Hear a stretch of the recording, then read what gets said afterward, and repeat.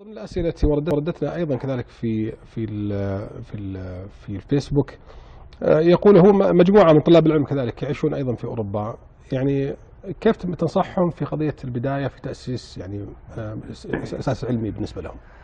بالنسبة للواجب على على الإنسان المسلم في جهة تلقي العلم الشرعي نقول أنه أول ما يجب عليه أن أن يج أن يتعلم العلم العيني الذي يجب عليه أن يكون في ذاته.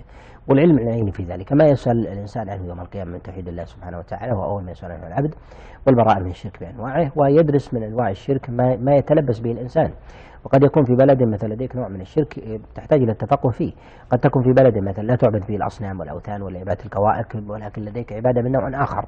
فعليك أن تدرك مثل هذا الأمر وباعتبار أن التوحيد لا يتحقق إلا بالتجرد منه.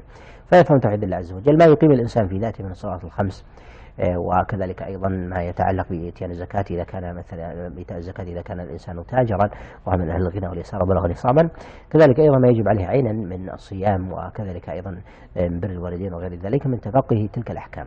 التفقه فيها باعتبار أنها واجبه عين ثم يتوسع الإنسان بما بما اختص به فإذا تلبس الإنسان بشيء وجب عليه أن يتفقه فيه.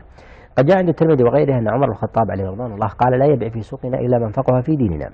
فإذا كان الإنسان يتلبس بالتجارة فعليه أن يتفقه باحكام البيع والشراء وإذا لم يكن متاجرا فإنه لا يتفقه في هذا. فلهذا نقول ينظر الإنسان لحاله فسعة العلم والواجب العيني يختلف من شخص إلى شخص وثمة شيء لازم لجميع الأشخاص وهي الواجبات العينية وهي ما يتعلق بالتوحيد وأركان الإسلام على ما تقدم الكلام عليه.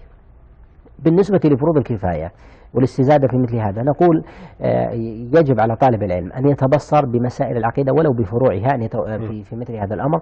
هي من المسائل المهمة في هذا الزمن خاصة. كذلك أيضا يتفقه بمسائل الأحكام وهي من الأمور المهمة ويتفقه خاصة في بلدهم بأحكام التعامل مع الكفار آه، من جهة الأطعمة والألبسة وال- والأنكحة وكذلك الهدايا والصلة والدعوة إلى الله عز وجل وكيف ما يدعون إليه في البداية في بداية الدعوة وتأليفهم وحدود التعامل في مثل هذا الأمر. وكذلك أيضا يعرف قيمة المحبة في الله والبغض في الله حتى يوالي أهل الإيمان ويعادي آه، ويعادي غيرهم. فمثل هذه الأمور هي التي تتعين خاصة على آه، أهل تلك البلدان البعيدة.